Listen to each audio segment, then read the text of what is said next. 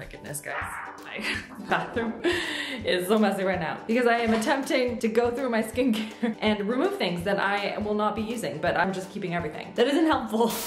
Hey guys, what's up? Hope you're all having a fantastic week. We are here today, not doing anything to do with skincare, it's just I stepped on some things as I was filming here. Anyway, we're gonna be testing out some celebrity must-haves. These are products that celebrities have deemed to be just fantastic, over the top, just the best of the best, cream of the crop. And so I wanted to test them out today and just see what the fuss is all about, if it's actually worth the hype. Some of the products I have used before, so I can kind of talk about like long-term what I think of them. And uh, I found some new products as well. So I thought it'd be really fun to test them out together. Make sure to give this video a thumbs up and subscribe. New videos here every single Thursday. Come and join us. And now let's dive into the first product, which is why we're in the bathroom to begin with, because it's an eye mask that is a favorite of Jessica Alba. And if there's anyone that has beautiful skin, it's Jessica Alba. The girl does not age. And the product is by Grace and Stella. It is an eye mask that is an anti-wrinkle, energizing eye mask. I bought these ones off of Amazon. It has like 2,200 four and a half star reviews. People seem to love it. It's supposed to brighten the under eye area, kind of depuff, remove any dark circles. You can put them in the fridge if you want. You can put them on for as long as you want. It has like, I don't know, hyaluronic acid and it's supposed to have vitamin C, just like a bunch of really good for you ingredients. And they're supposed to be just fantastic under the eyeballs. So we're gonna do what I normally do whenever I'm wearing sort of like under eye masks is I will put those on and then I do my eye makeup afterwards because like, you know, get that done, get them to soak in and then we'll go into like the rest of the makeup, you know. So let's open these up. So here's what they look like. Packaging is pretty basic. Let's open them up. They're nice and they're bright and shiny gold. I want gold things under my eyes, so let's do this. Ah, oh no, took them all the wrong way. That's weird. I took them out with the packaging face up and they were upside down. That's weird to me. All right, so we have one on right there. Oh, slippery. Get this other guy on. Ugh. Oh, it's really hard to do with one hand. This right here, this is what they look like on underneath the eyes. They feel good thus far. We'll see how much they like slide around. You know, that's like my primary concern with anything of this feel, but so far so good. They feel fine. Let's go and put on some makeup. Also worth noting that Jessica Alba really liked these because she has sensitive skin and she said that these feel really good. That was a common thing for a lot of people on Amazon at least had mentioned that they were really nice and they depuff the area and they felt really good, especially if you have sensitive skin. Let's just park you right here. Hang out with me for a sec. Before we get into a celebrity makeup product that's a favorite, I'm just gonna put on a little bit of eyeshadow because I want to. All I've been doing recently is using the Natasha Denona, the bronze palette, and just like slathering some bronzy shade on my lid like that, you know, get that on there. Another favorite product of celebrities, and this is just like across the board, is the Simple Modern Tumbler. This thing, I actually bought this to test for another video and I'm obsessed. I cannot stop using it. And it's actually, it's making me drink water. I, I don't know, I don't know what to tell you. The, the rumors are true. You do drink water when you have this. I don't know what it is. Maybe it's just because it's pretty, but I've been drinking so much more water than I normally would. And I've been putting cucumber and ice in here and it's fantastic. I actually bought one for my sister-in-law and she's been obsessed with it. Hers is actually, for whatever reason, a little different than mine is. And they're supposed to hold a lot of ice in here and keep things cold and keep the ice in there all day long. And hers does that, mine doesn't which is weird, but it does keep everything cold. It just doesn't like, you know, keep the ice in there. So I'm a little annoyed by that for myself, but really happy that Lauren, my sister-in-law, had a great experience with hers. And it seems like most people, like the ice lasts literally all day, like morning to night. I don't know what to tell you. Comes in amazing colors and I'm obsessed with it. I get the hype. Now let's go on to a mascara. And this mascara is a favorite of Gabrielle Union and it is a L'Oreal one. It's a drugstore one. And it's weird that I feel like I haven't tried this one because I feel like I try most, if not all of the L'Oreal mascara. So I don't know how this one's the buy, but I do not believe that I've tried it. It is the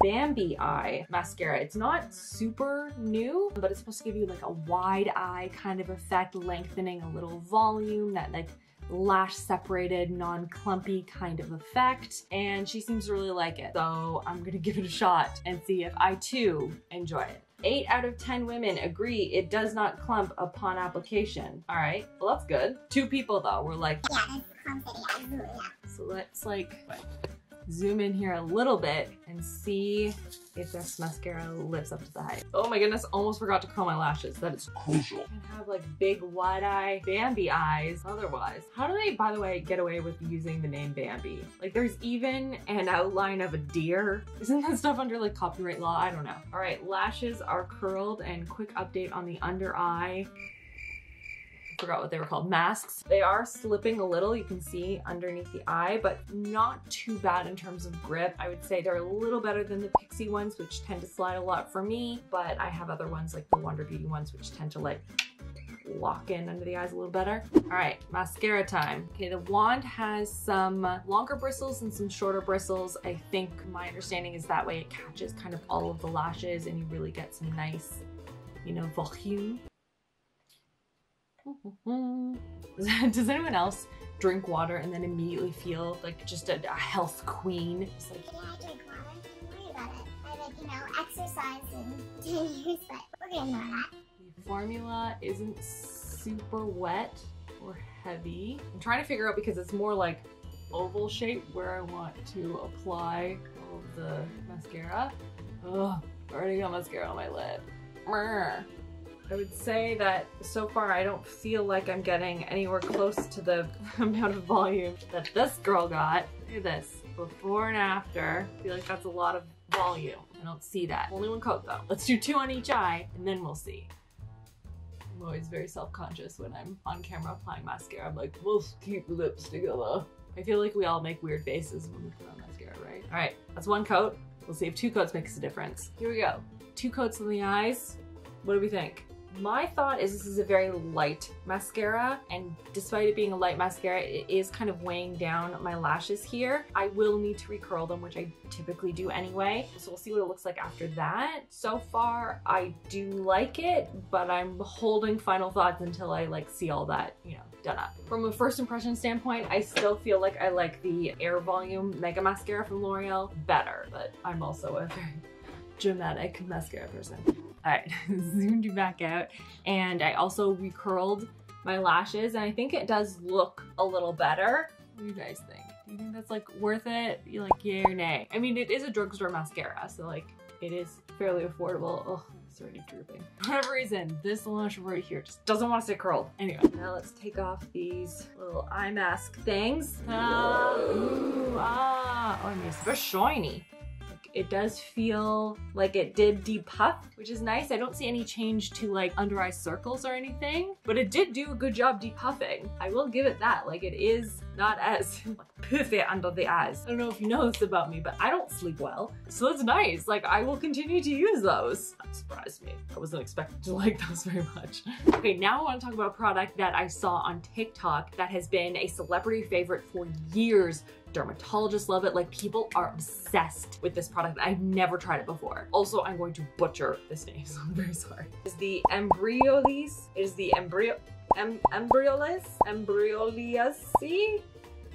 Okay, I think it's the Embryolisse cream concentrate and this is supposed to be like the reason that celebrities have this like glowy beautiful skin on the red carpet. It can be a moisturizer a primer even a moisturizing mask if you want to put like a thick layer on but putting this on will help any cakiness or dry spots or if you tend to get like separation or that like crusty makeup this is supposed to fix that. So this apparently is a combination of like an emollient oil as well as shea butter, beeswax, aloe vera, soy protein, just a bunch of stuff in here. I feel like this may be a little bit thick for your skin if you have oily skin. I could I could be wrong. That is my guess though with this one, but I am excited to test it out. Ooh, okay, very thick, white, creamy consistency. That's what it looks like on my hand. It looks like, you're in the mineral sunscreen? That's what it looks like.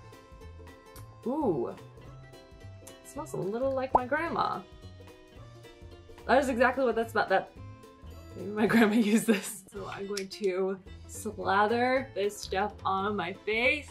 Oh, it feels so, it feels so hydrating. Forget the forehead. It feels so nice on my skin. I haven't put on any moisturizer or anything on yet. Oh, my skin feels so nice. Definitely a heavy moisturized kind of a feeling and my skin is like very pleased with this right now. But if you have oily skin, I don't think you'll like this. I would steer clear. rub some into my hands. I mean, why not? Ooh, okay. It feels good, which is a good step. We'll see what it looks like once you put like makeup and stuff on and like maybe I'll change my mind. I don't know. We're just gonna throw on some foundation here over and just see how it looks with that product used as a primer. Today, by the way, I'm going back to my Pure foreign one. I haven't used this one in ages. Oh, I forgot how much I love this one on my skin. It looks ridiculous, ridiculous. Once we finish this, we're going into a blush. And I don't know if you've heard about this blush that broke the internet. It is a pricey product. This is not a joke. This product is sold out everywhere. No one has been able to get their hands on it. I think the brand website still carries some, but probably not in the shade that everyone's been flipping out over. It's the Dior Backstage Blush. And of course, as with many makeup products that break the internet, Kylie Jenner mentioned this one. And she talked about how much she loved this product and how it gave her this beautiful, like glowy skin and everyone out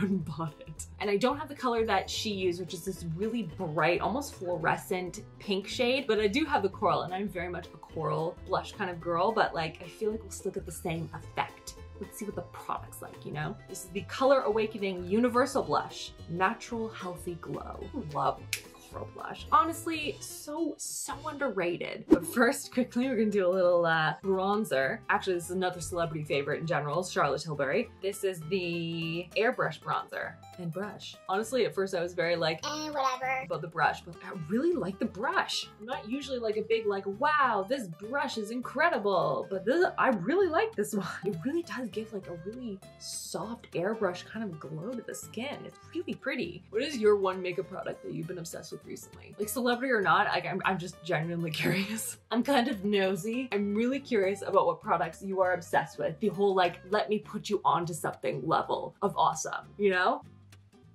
I feel like I need to like move on from bronzer, but I can't. I'm just, I'm obsessed. It's so pretty. Okay, blush time. Saw my brush and I was like, what happened? It's just, it's a, it's a bronzing brush. It's supposed to be for like ankles. Anyway, I had a moment where I thought I ruined my brush. Fenty, don't scare me like that. Here we go. The infamous Dior blush.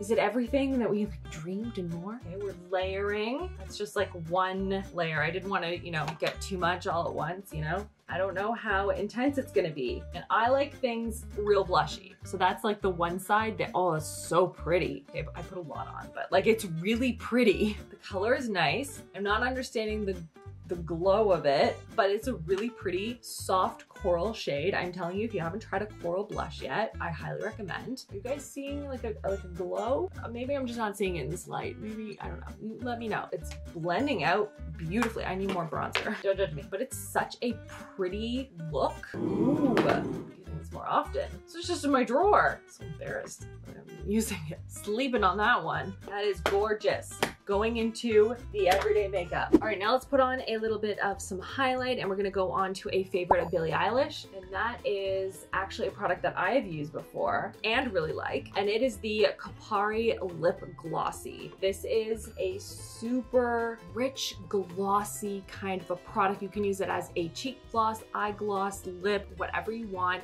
Smells phenomenal. They have a whole bunch of different flavors and stuff too. This is the watermelon. Oh my gosh, it doesn't even say. It's this one, but it's a petroleum-free lip gloss. It doesn't feel sticky or heavy on your lips. It's, it has it, shea butter, coconut oil, squal squalane, I think it is. Just a lot of nourishing ingredients for your lips, and it doesn't feel gross, which I appreciate. So let's just do like a little lip color here. And then just layer a little bit of this on top. Oh, I have a bunch of these too. Like, look how glossy that is. Oh, just ridiculous. Mmm. I mean, it does leave the applicator really messy. I should have should have done this like this instead. But it does a really good job sitting on top of your lips. You know, sometimes if you have dry lips, this just sort of enhances it anytime you use any sort of lip product. This like glides over it and makes everything look very smooth and even. And again, that high shine factor I, I see why she likes them so much. It's really beautiful. I have a bunch of them. I have one in my purse, one in my junk drawer, in my kitchen. I love junk drawers, right? Oh, actually, while we finish up the makeup here, I feel like I just need to do a little setting in the T-zone. I have a jewelry favorite of uh, Kendall and Kylie. These are these particular hoops that they got off of Amazon. They are these ones right here. They're like bigger hoops. I've been wearing so much of like the little teeny, tiny little hoops. I haven't used big hoops in a long time. If I can open them. Here, they open. Oh, there we go. I want to know how heavy they are, what they look like, how they feel, how easy they are to put on, and also, are these gonna hurt my ears? It's entirely possible. Ow! It's got an aggressive latch at the back. Oh, they're cute! Okay, they're not too heavy, that's good. Can't promise they're not gonna hurt my ears an hour though, so we'll stay tuned for that. Get the other one in here. I hate when one earring goes in like perfectly and then the other one's like, nope, not gonna happen today. Why? Why are you gonna be difficult? Okay, I think, I think I got it on. Okay, they're in. Again, so far so good, but stay tuned. Just need to do like a little, a little set right in here, you know? Add a little eyeshadow underneath the eyes. I feel like that always opens up my eyes. Just makes the whole makeup look come together. Then I'm gonna set with a product that's my favorite, not a celebrity, but I really like it. So I haven't done favorites in a while. I'm just gonna, I'm gonna include it because this setting spray, A, super cheap, B, is basically like a dupe for the Urban Decay All Nighter Setting Spray. It is so good. It is this one right here by e.l.f. the Stay All Night Microfine Setting Mist up to 16 hour wear. Like my makeup does not budge when I use this and it it's not sticky tacky. It has a nice mist. I feel like with, with e.l.f. I always have like a love-hate relationship with them. Sometimes the mist is great, sometimes it's a garden hose. This one is a good one. Look at that. Beautiful. Let's put some on. So much on. And then I always like to dab over all the areas. Press everything into my skin, like so. I'm getting a little mascara on the lower lashes. Wow, look at us go. Feel like my skin looks really good right now. Feels very hydrated. Excited about this, this product. I feel like it's been around for years, but I'm going to be using this a lot more often. Have you guys tried this before? Let me know, because like, I have no idea. That, the blush, even the eye masks, everything's been working today. I love when this happens. Quick update on my phone here because the camera's downstairs and I'm lazy. I just want to show you guys underneath the eyes. All of the mascara is speckling off right under my eyes. I've been doing that like all day. I keep flicking it away. I'm like, I'm gonna talk about this. it just keeps happening. So that is unfortunate, but everything else looks great. So quick little heads up. Let me know what your favorite product was that we tried today. I feel like we tried a lot of really good ones and I'm excited. This is a good like everyday makeup look for me, but there were some good new products that I'm excited to continue to use. So let me know down below which one you're most excited about. Thanks so much for hanging out with me. Check out these videos on the side in case you have missed any. Thank you so much as always for liking, subscribing, and doing all those things. It means so much to me and I hope you have a fantastic rest of your week. I will see you guys in my next video. Love you all. Mwah.